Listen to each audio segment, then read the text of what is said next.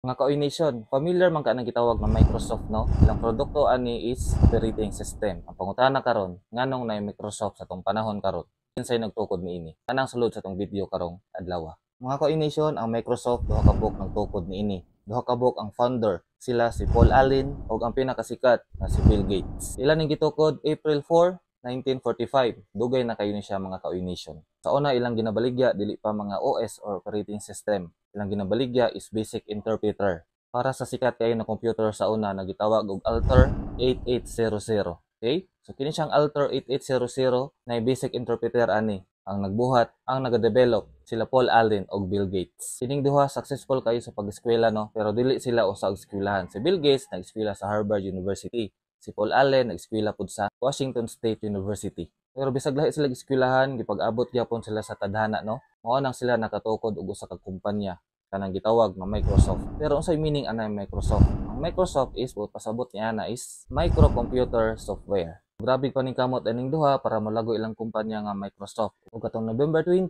1985, ilang na-release kanang gitawag na Microsoft Windows. Hantod karon ato pagyapong ginagamit. O paglabay sa panahon, no, kana atong ginagamit pod ron nga Microsoft Office, ila pod niya siyang gi-introduce. Tanus a. Ilan ning gi-introduce sa duha ka founder na si Paul Allen ug si Bill Gates kadtong 1990. Apil na diha ang Microsoft Word ug Microsoft Excel. So dugay na gihapon na siya mga ka-Nation.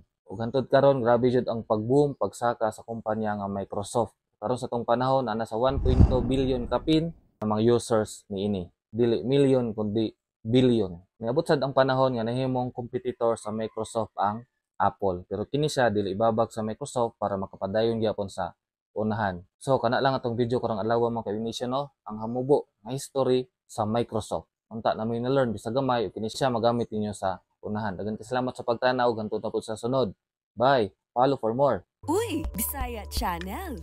Ang channel para sa mga Bisaya.